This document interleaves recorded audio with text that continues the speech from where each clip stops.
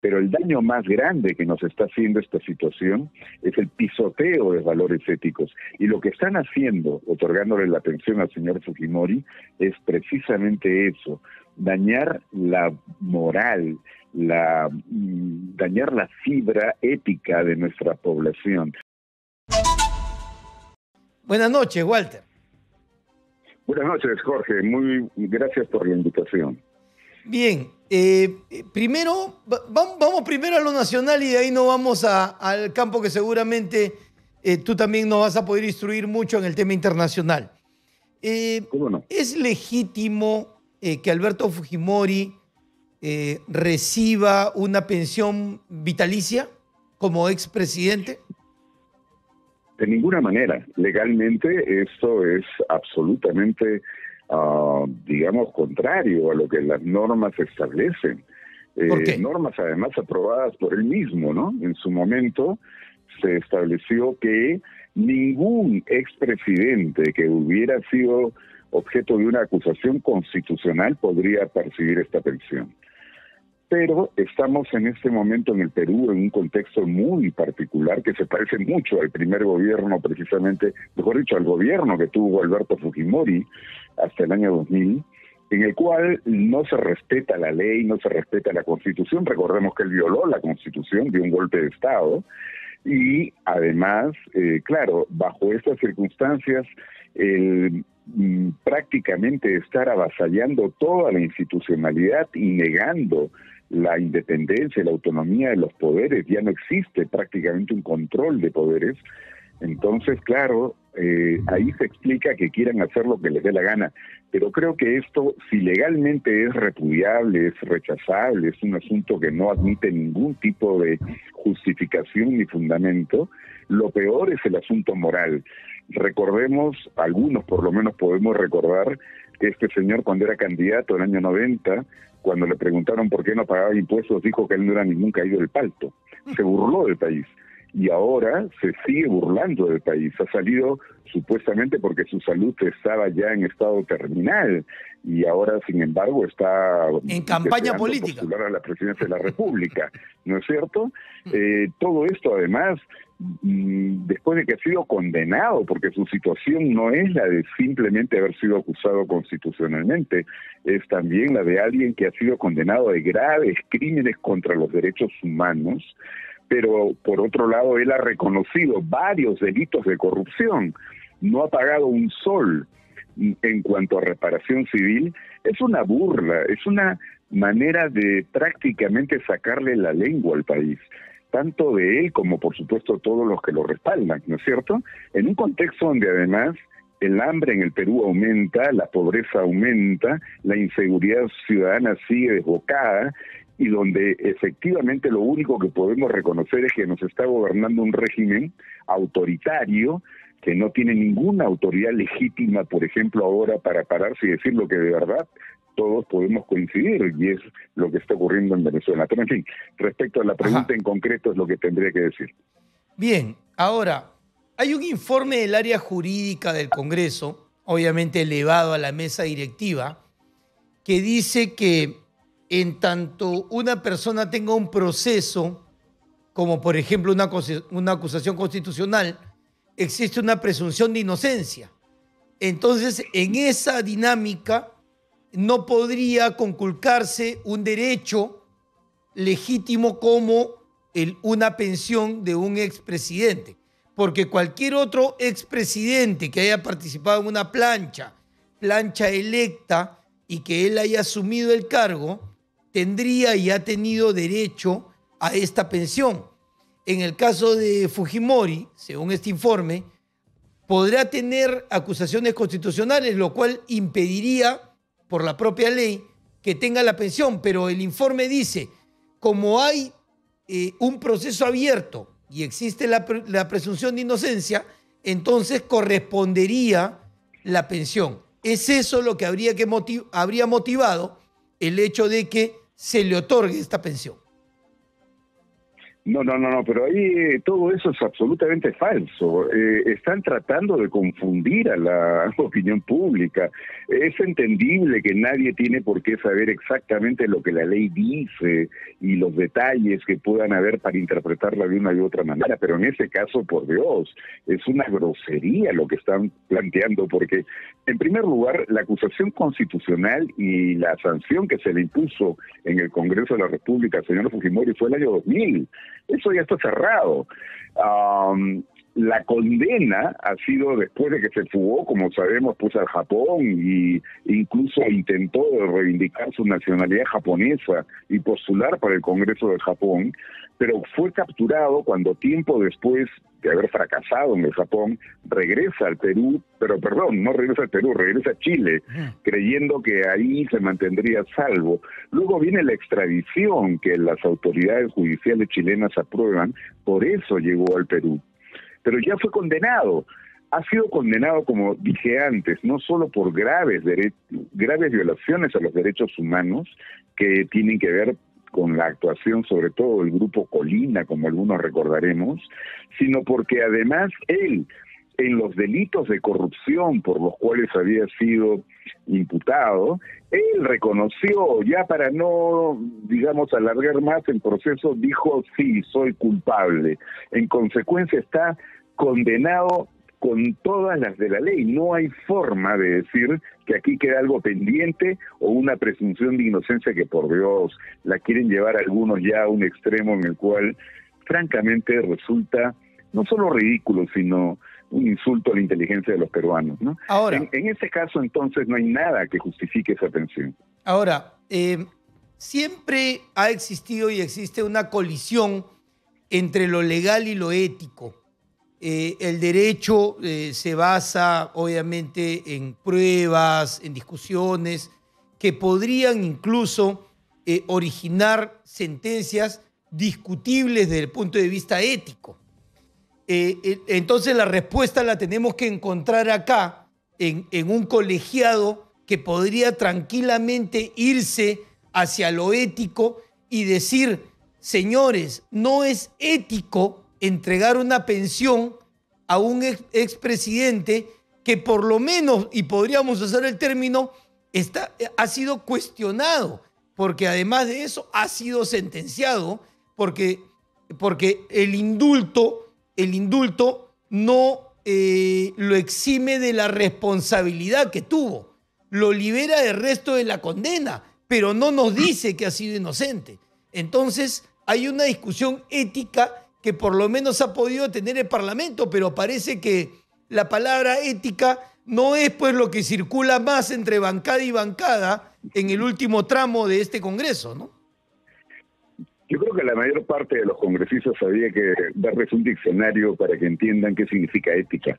Pero una precisión importante, Jorge, eh, en general, en realidad, la ética y, y las sanciones penales van de la mano. Es decir, hay transgresiones que pueden ser solamente en un plano ético, pero hay otras que son tan graves que por eso en determinada sociedad, en este caso en el Perú, el Código Penal recoge determinadas transgresiones éticas como delitos, que es la manera más eh, extrema de sancionar una conducta que se estima dañosa para el conjunto de la sociedad. En el caso del señor Fujimori no queda la menor duda, hay una transgresión ética y una transgresión penal enorme, por eso ha sido sancionado. Pero además tenemos que tener claro que éticamente también es una barbaridad lo que están haciendo. Eh, yo creo que algún día podremos evaluar lo que ha ocurrido en el país en estos últimos años.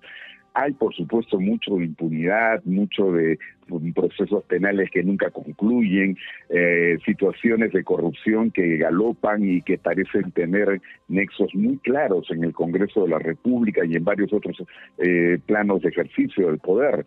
Pero el daño más grande que nos está haciendo esta situación es el pisoteo de valores éticos. Y lo que están haciendo, otorgándole la atención al señor Fujimori, es precisamente eso, dañar la moral, la mm, dañar la fibra ética de nuestra población. Cuando, como dije antes, hay tanta hambruna que, que crece, hay tanta escasez, tanta situación de inseguridad y, que a este señor no solo le den una pensión, sino que también le den gasolina, le den seguridad, le den personal para que lo, lo vigile o, perdón, para que lo custodie. Es una burla, eso es una burla al país. Entonces, no solo es un asunto de ilegalidad, que ya es bastante grave, sino que además a eso deberíamos agregar que es un pisoteo a cualquier tipo de valores éticos. Están haciéndole un daño enorme a la sociedad cuando muy bien sabemos que quienes ejercen el poder en este momento no tienen ni siquiera un mínimo de legitimidad para poder actuar como lo vienen haciendo. No, y es que queda claro, Walter, que quienes ejercen el poder en este momento no son los que tienen los fajines o los que tienen las medallas, queda claro quién es el partido y quiénes son los que gobiernan en este momento el Perú. Justamente con situaciones como estas, nos queda claro quién gobierna, ¿correcto? Por supuesto, y quien gobierna no tiene ningún respeto por valores éticos, no digo yo por, por principios políticos, no, por valores. Fíjense, ¿cómo es posible que forme parte de la mesa directiva del Congreso bueno, no solo varios de los que, comenzando por quien la preside, pero también el señor Waldemar Cerrón, ¿no es cierto? O sea, un partido que en ese momento defiende a el gobierno de Chávez y a esta reelección fraudulenta, como también lo acaba de hacer el, el actual defensor del pueblo. O sea, ¿quién permite que gente de esta calaña pueda tener puestos de poder y de tanta importancia para destruir todo. Aquellos que consideran que lo único que vale son sus propios intereses, no el hecho de decir que hay propuestas políticas a las cuales habría que confrontar y rechazar, sino que están dispuestos a avalarlas si eso significa que ellos van a poder contar con sus votos para hacer lo que les dé la gana, como en ese caso la atención al señor Fujimori. Walter, vamos entonces al otro tema que nos convoca. Eh, ¿Cuál sería, eh, y lo digo en condicional obviamente, cuál sería la salida para la crisis en Venezuela? ¿Existe una salida o no la hay? Yo creo que nadie tiene la respuesta a esa pregunta, Jorge. Es muy difícil poderlo plantear, pero lo que sí tengo, y eso lo quiero compartir, es la expectativa de que esta ya es la etapa por lo menos inicial de la salida por fin después de tantos años a la crisis en Venezuela que no se inició con Maduro, ha continuado o empeorado, pero se inició con Chávez. Y creo que lo que ha venido ocurriendo es que eh, no se había producido una situación en la cual el régimen chavista y ahora conducido por Maduro tuviera tan poca legitimidad como la que tiene en este momento. Ahora, hagamos un paralelo, sin embargo, ¿no? Mm, la muy baja legitimidad de, Maduro está marcando entre que tiene el, 20, el 15 y 20% de respaldo. La señora Diana Boluarte no llega pues ni al 5%. En consecuencia, eso es lo que le quita al Perú piso para poder pretender liderar una postura. Nadie duda de que la posición correcta es a favor del pueblo venezolano, ahora que hay una gran mayoría de venezolanos que por fin se han pronunciado de una manera contundente contra el régimen de Maduro. Y esperemos que la comunidad internacional en estas circunstancias sí esté en capacidad de poder presionar para que se produzca una salida democrática que implica necesariamente el abandono del gobierno o del régimen, digamos, del señor Maduro en Venezuela. Pero eh, todo lo que pueda ocurrir de aquí en adelante es incierto porque estas cosas nunca están escritas eh, previamente, son producto de los hechos, de la manera como se va desenvolviendo la, el contexto, la coyuntura política. Yo esperaría, sinceramente, que por fin estemos ante la caída del régimen eh, chavista Maduro ahora ¿no es cierto? Pero sobre todo porque allí lo que otra vez tenemos que reconocer en el Perú, porque hay muchas lecciones que sacar en el Perú sobre esto, no es una cuestión política, no es que sean de izquierda, son unos sinvergüenzas corruptos, narcotraficantes, han corrompido a la Fuerza Armada, por eso tienen el apoyo de la Fuerza Armada. En el Perú hay quienes en este momento tienen el ejercicio del poder no por legitimidad, sino porque la Fuerza Armada lo respalda. Y habría que comenzar a averiguar qué es lo que explica ese respaldo, ¿no? Hay quienes opinan que, y es cierto además, la historia de Venezuela se está escribiendo en este momento y que esa historia tiene que ser escrita por los propios venezolanos. ¿Ellos tendrán que encontrar una salida y una respuesta a esta crisis? Sin duda, no hay forma de que la comunidad internacional resuelva una crisis eh, que tiene, eh, digamos, explicaciones muy profundas en la, en la propia realidad del país.